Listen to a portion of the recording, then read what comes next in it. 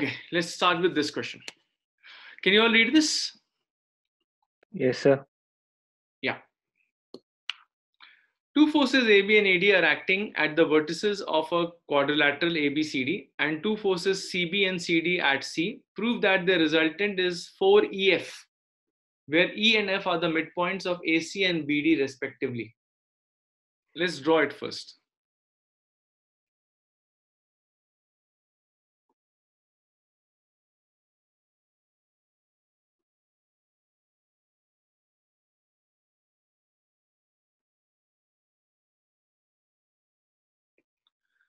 So let me call this as A. Um, B, C, and D. So AB and AD act on A. Similarly, CB and CD act on C. Okay. Now they're saying the resultant of AB, AD, CB, CD. That means AB plus AD plus CB plus CD. We have to prove that this is equal to 4EF. Uh, e is the midpoint of AC. AC midpoint E is here. Okay. F is here. Let's say F is here. So it's 4 times EF. Can you prove this? Any idea? Okay, the best thing here would be take one of the points as origin. Okay, let me call this as O. Okay, so let me change the name over here also from AB, let me make it as OB. And from AD, let me make it as OD. Okay, now this choice is completely yours, right? Uh, choosing of origin is completely upon your whims and fancies. Fine. Now, why have I done that? So that I can call this as position vector B and I can call this as the position vector D and I can call this as your position vector C. Okay, remember when you say position vector of B is B, that means you are indirectly referring to this vector. This is your B vector, this is your D vector, and vector O to C, that would be a C vector. Okay, but that is not desired actually, so I'm not bringing into a picture. Now, let's say if I talk about the left hand side, left hand side of this expression is OB, which is B vector, OD, which is D vector, and CB. What is CB? CB, as I told you, destination minus source. Destination minus source will be B minus D, correct? CD will be again D minus C. That means your left hand side of the expression actually ends up giving you, uh, I think some D's will get cancelled off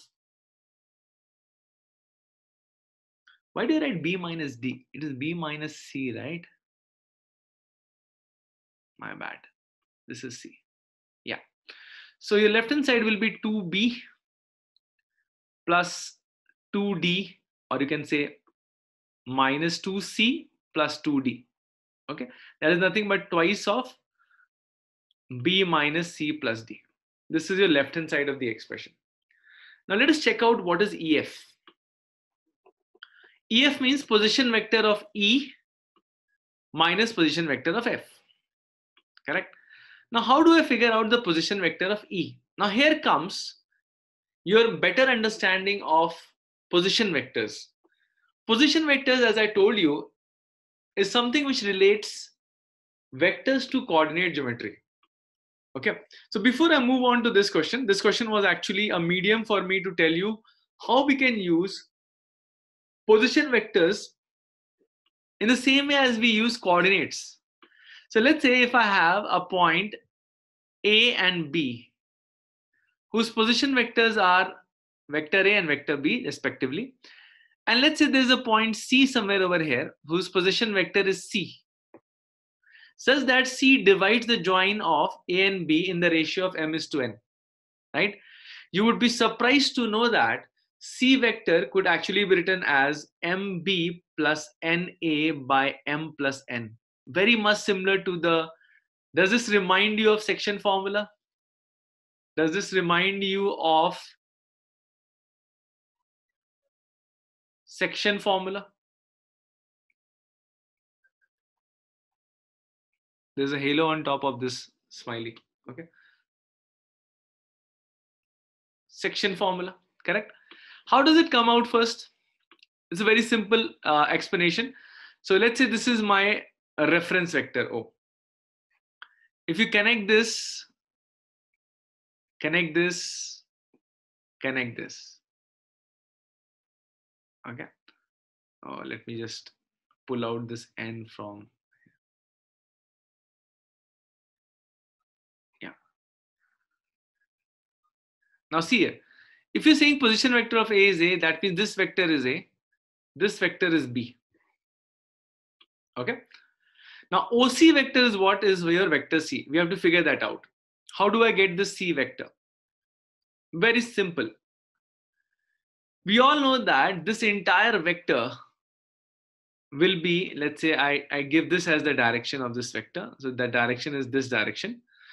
AB vector completely is nothing but B minus A. Okay. So what is AC vector? AB vector is B minus A. So AC vector is nothing but a vector in the same direction as AB, but its length is M by M plus N times B minus A, right? Remember the entire length, if you take it as M plus N, AC is just the M part of it. Or it's M by M plus N times B minus A. So A to C is known to you now, which is m by m plus n times b minus a. Correct? Now, can we now apply the addition of vectors? Can I say C vector is the sum of OA and AC? So C vector is OA, which is your vector A, AC vector is the same vector which we had figured out a little while ago. That is m by m plus n times b minus a. Take the LCM. So it is m plus n times a plus m times b minus a, which makes it as ma plus na plus mb minus ma.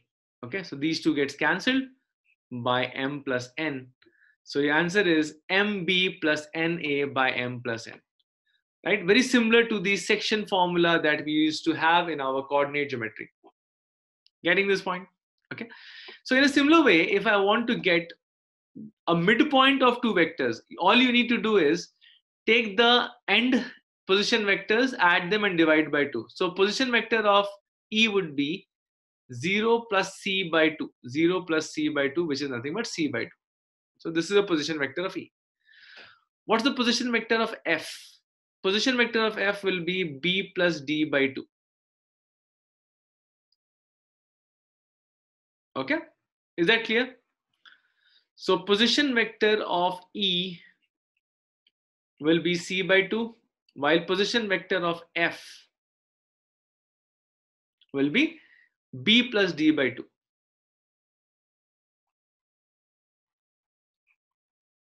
Okay, so EF vector would be destination minus source, that is b plus d by 2 minus c by 2. So take a 2 common. So it is b minus c plus d.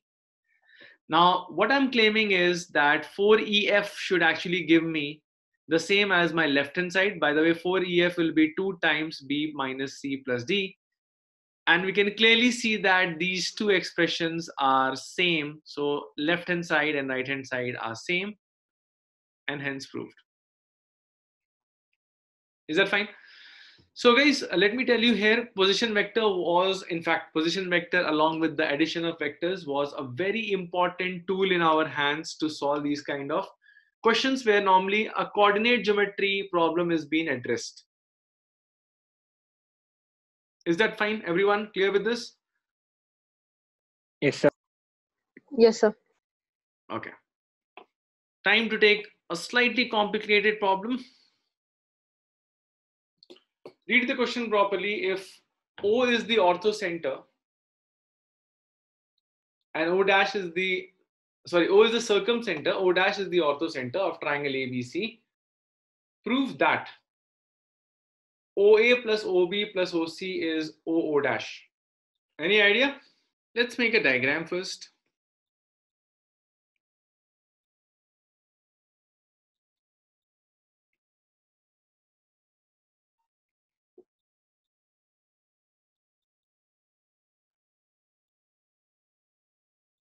This is your O dash.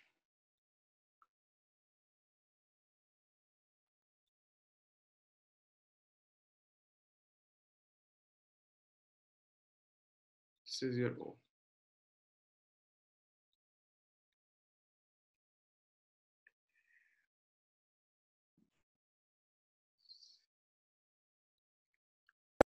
So is it option A, like first option? It is not options. You have to solve these three questions. Aditya, I think I was trying to like figure out. these are not options. Then prove that. Say prove that question. Sorry, sorry. I can understand exam time now.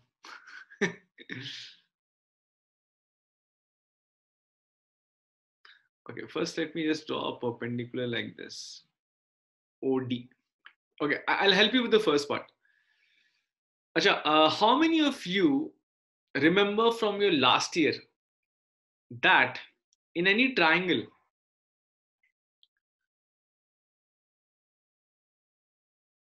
the distance of the ortho center. So let me just draw a separate case over here. Let's say this is your ortho center O dash. Okay. How many of you know that O dash A is 2R cos A? Where R is the circumcircle radius, where R is the circumcircle radius.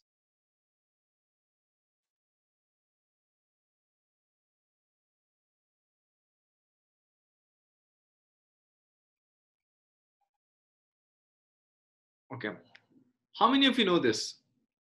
If you're not if you're not aware of this, not a issue. I can just explain you how this figure actually comes. So let's say this is your 90 degree over here, right? And this is also 90 degree. Okay. So we all know that this angle, okay, since this is angle B, this angle is going to be 90 minus B. Correct? Okay. And since this angle is uh, A, this angle will be 90 minus A.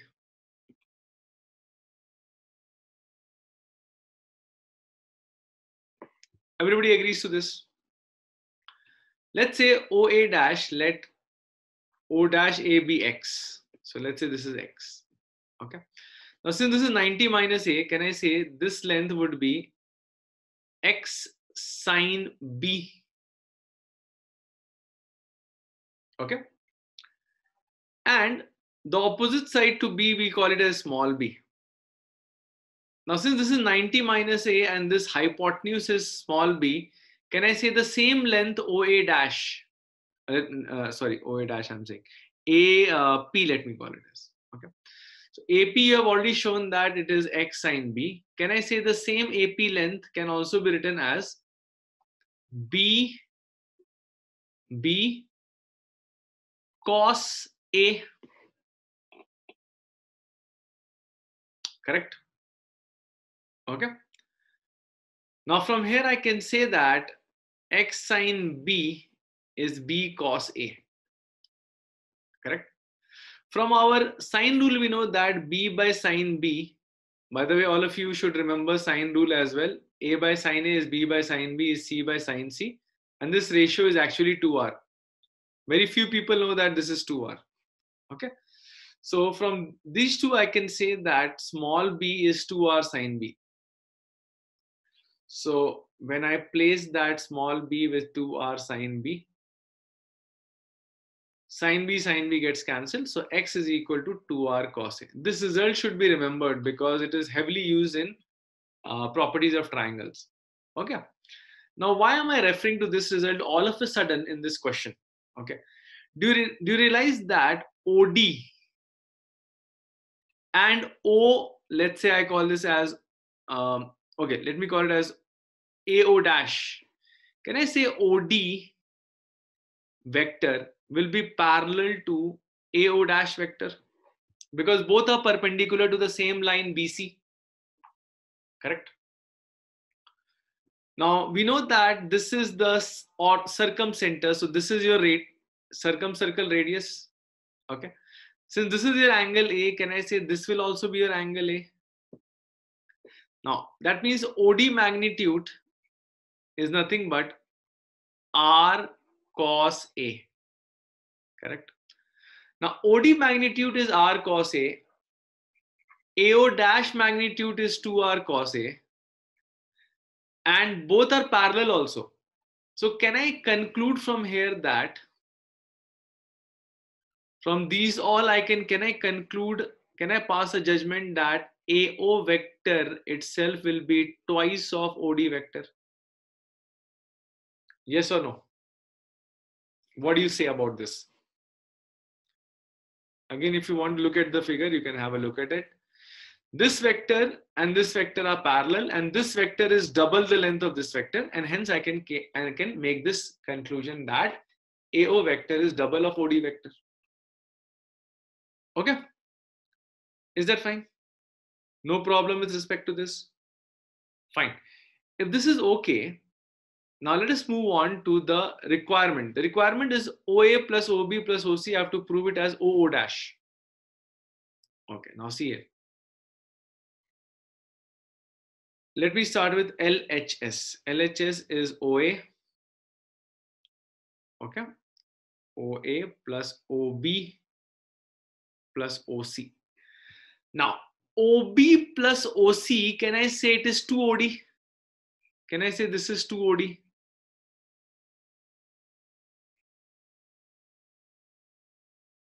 All of you agree with me on this or not?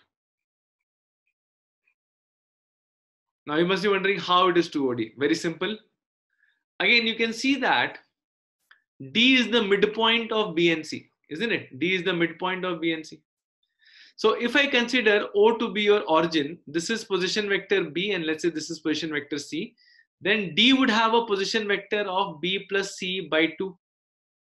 In other words, OD vector would be OB vector plus OC vector by 2. So OB plus OC would have been 2, 2 OD vector. Okay, so from here I can say OC plus OB will be 2 OD. Clear? Yes or no? Okay. Yes, sir. And 2 OD is what? 2 OD is AO dash. Okay. Let me write it in a slightly different way. I write it AO dash plus AO dash is nothing but OO dash. It's very obvious because if you're going from O to A and then from A to O, it is as good as going from O to O dash. Done. First part of the proof is done. Clear? Such a huge, uh, such a huge problem, but the concepts involved were your concepts that you had already learned in your past. Okay. Try the next one. Prove that O dash A plus O dash B plus O dash C is equal to 2 O dash O. Again, shift your origin to O dash. Okay. Now, let me use black pen over here. Okay. Now, O dash B plus O dash C vector. O dash B plus O dash C vector. Do you all agree that it will be 2 O dash D vector? Yes or no? Yeah. Correct? Yes, sir. Now, O dash A. O dash A, you already proved that. So these two are taken care of. O dash A, you already proved a little while ago that O dash A is uh, 2 DO dash. Sorry, 2 DO. O dash A is 2 DO. Correct? That means if you add them up, that is O dash A plus O dash B plus O dash C is equal to 2O dash D plus, in fact, 2 you can take common, DO. Okay, so O dash D, O dash D plus DO will be what? O dash O. So it will be 2 O dash O. Done. This also done. Last one, at least you try. AO dash, O dash B, O dash C. You can use the result of the second one and the third one. Any idea? See, very simple here also. Now, this term over here, uh, let me write it separately. AO dash. You want to prove AO dash plus O dash B plus O dash C is equal to 2AO. 2AO. Okay. AO dash, you can write it as um, 2AO dash minus AO dash, correct?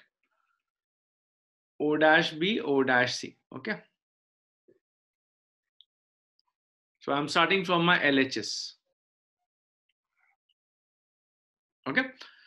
Now, if you reverse the order of AO dash, you can write this as plus O dash A.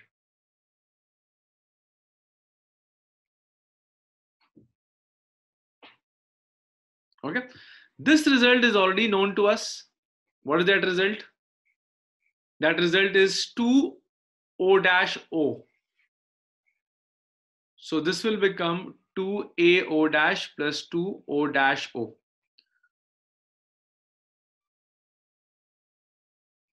Okay. Take 2 common.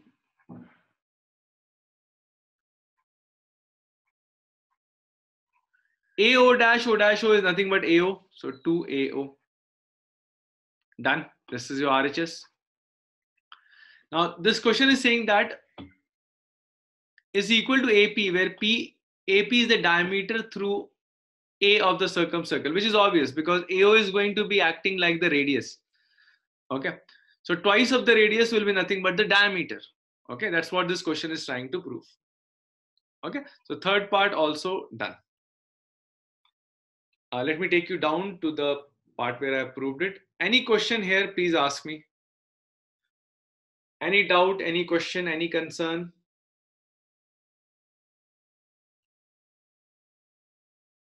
No, sir. Okay.